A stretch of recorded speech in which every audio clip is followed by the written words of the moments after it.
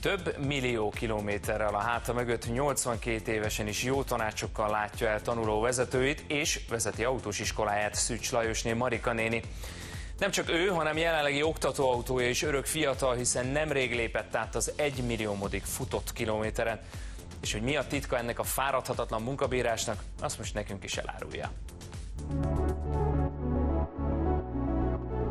Ennek az autónak és Marika néninek már történelme van, és ahogy az lenni szokott a volánnál, nem ő ül. A kormányát sem ő, hanem a sok száz tanuló vezető tenyere koptatta vékonyá.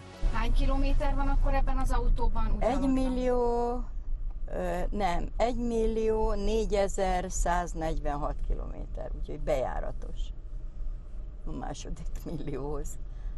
Szájából pedig valószínűleg több milliószor hangzottak el ezek a mondatok puha testőekre figyelj, hogyha nagyobb testű jármű mögött megyünk, akkor mindig figyeljünk oda, hogy milyen messziről fékez, mert ő többet lát, mint mi. Finoman, messziről, lassítunk, lassan, szépen. Vizsgabiztosnak ilyenkor a kezébe lévő kávé nem szabad, hogy kilöttyenjen. Húha, hát akkor bajba lennék. Marika néni nem csak az oktatásban szerzett több évtizednyi tapasztalatát adja át máig, humorral és bölcsességgel diákjainak, de elmondása szerint a beszélgetés és a morális felkészítés legalább olyan fontos, mint a technikai tudás átadása. Többet és mindig többet adni a tanulóknak, felkészíteni őket az életre.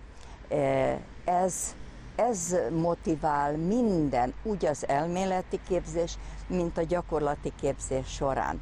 Ezt egy nagy adag szeretet kíséri, nem tudom elképzelni, hogy tanulónak a szeretet hiányba legyen része a képzés idején. Népes társaság gyűlik mindig körülém, amikor kint vagyunk a tampáján, megszokták, hogy ott megtalálnak, és mesélnek a saját élményeikből. Még azt is, hogy az indulataikat hogyan tudják visszaszorítani, és mederbe tartani, ami nem engedi, hogy elszabaduljon a rossz irányba. Nem csoda, hogy vizsga után is visszajárnak a diákok az oktatójukhoz, hiszen életerő és vidámság lengi körül Marika nénit, a titka pedig nem bonyolult. Munkám valóban a hobbim. Édesapám mondta annak idején, lányom, mindenkinek dolgozni kell. Ezt lehet kétféle módon. Vagy úgy csinálod, hogy belebetegszel, akkor bele is fogsz betegedni, vagy úgy, hogy meglátod azt az egy momentumot, ami köré meg tudod szeretni az összes többit. Így éltem az életemet.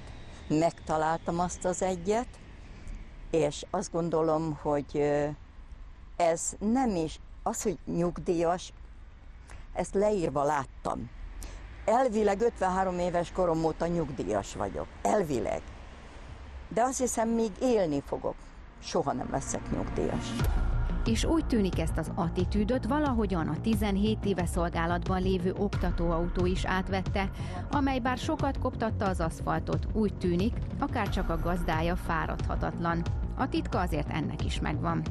Már a bejáratásnál is, amikor még bejáratos volt is,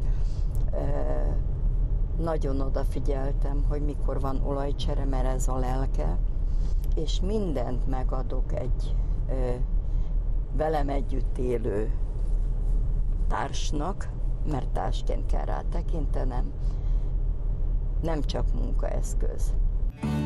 Marika néni szerint ez nem egy profitorientált szakma, de számára soha nem ez volt a cél. Az autós iskoláját is ebben a szellemben hozta létre. Mikor felvettem az oktatóimat, nekem olyan elképzeléseim voltak, hogy az én irányvonalam, ami a szeretet jegyébe és a tanuló érdekében történjen, ez valósuljon meg az ő kiválogatásuknál. Marika néni élete, hogy taníthat. Legyen az az autóvezetés, a vezetési morál, vagy egyszerűen csak az élet ügyes-bajos dolgai, szeretettel és fáradhatatlanul osztja meg önmagából, amit csak tud, talán épp ezt teszi felbecsülhetetlen élményé azt, ha tőle lesheti el valaki az autóvezetés tudományát.